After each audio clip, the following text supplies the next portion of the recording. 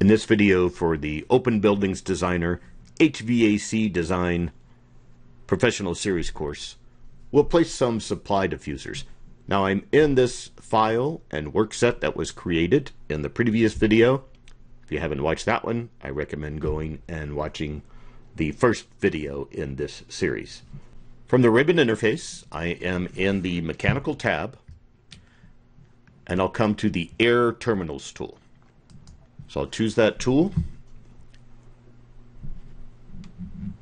The property panel opens up. I've got my property panel docked over on the right here. If I drag it out from there, see it looks like that. So I'm keeping mine docked on the right. You can dock this to the left or right of your interface using those docking glyphs. So I'll just get it docked over here. I also noticed that my ribbon interface has changed to display the placement place ribbon. So I've got some options for placing my air terminals. My floor selector is set to the ground floor down here. We're working in this retail grocery area of the example project here.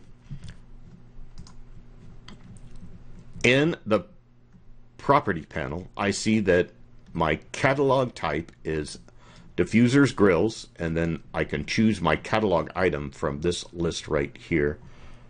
And the one I want to choose is diffuser, round ceiling, round diffuser top. Now you can adjust how this displays. You can either have it showing you the preview there, or you can do a list, and you can even come in here and type in a search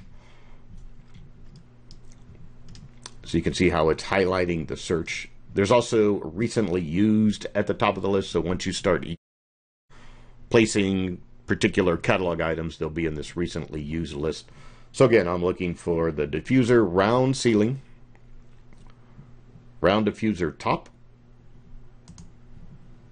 Now the one I chose is round diffuser side. That top and side indicates the connection to that air terminal. So let me go back in here.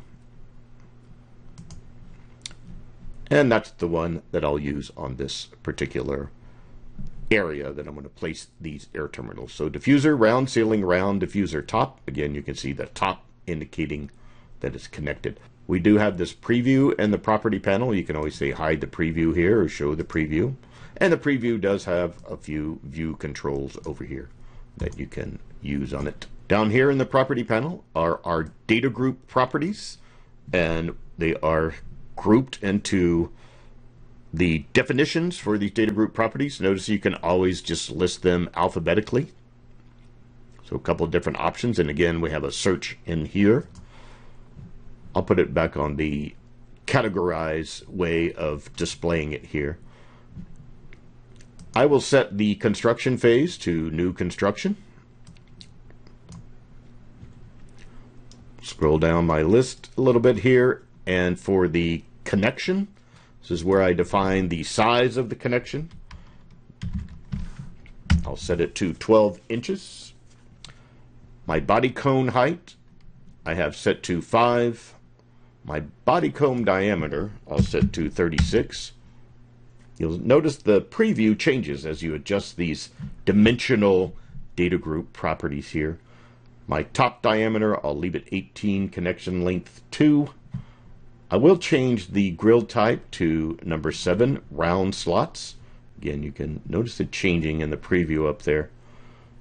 My grill diameter, I'll set to 36. And my grill thickness, I'll set it to 3. So I'm hitting the tab key on my keyboard as I'm clicking in here and enter the values and then doing a tab to accept those values.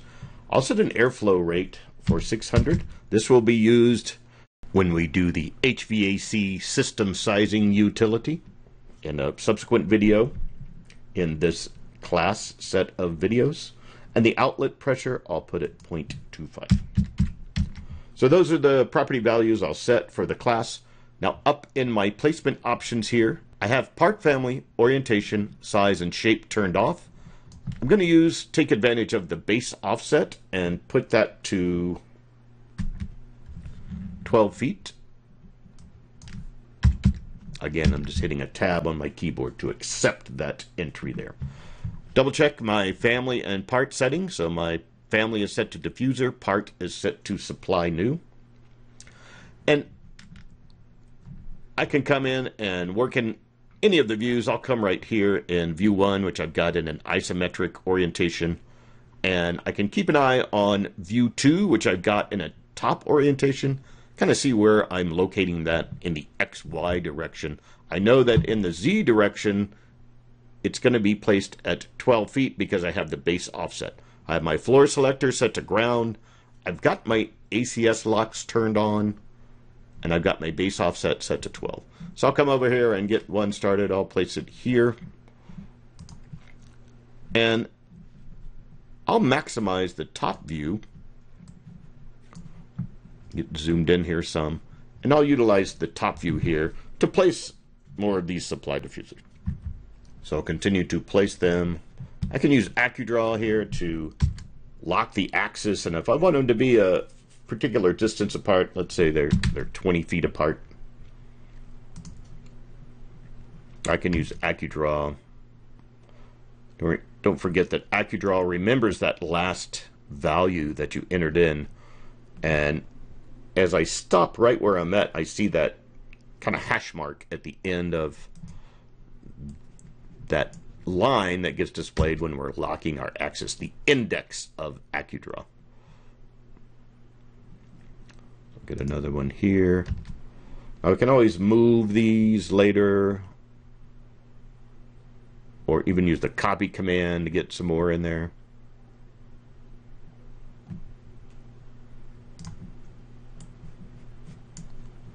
and get one more here.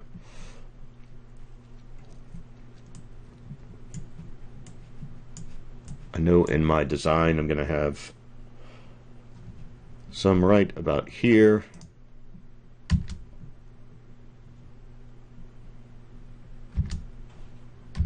Again, using AccuDraw to lock my index.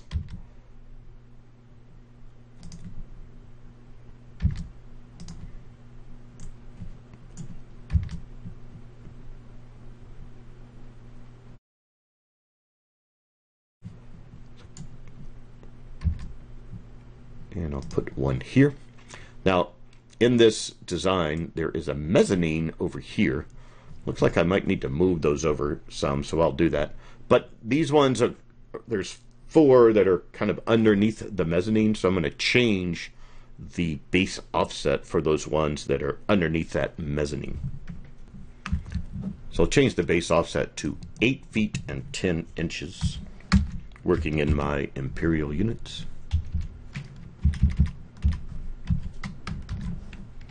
There we go, 8 feet 10. And I'll place four diffusers kind of right in here. I'll lock my AccuDraw index. Get one right there, one right here, and one right about there.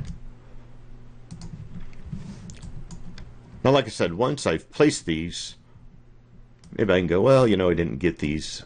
I'll move these.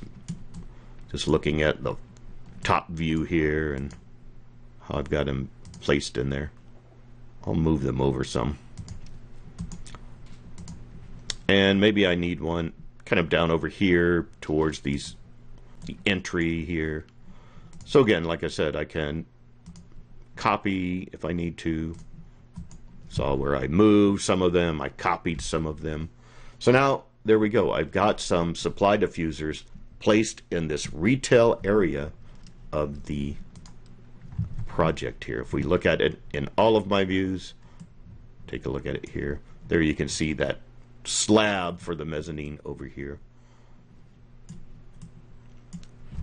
If I do that control shift right click, I can rotate my view around, take a look at it, how it looks as we rotate the view. So I've got some supply diffusers placed. In the next video, we'll create a air handling unit library for the workset where we will create a custom air handling unit in the video after that.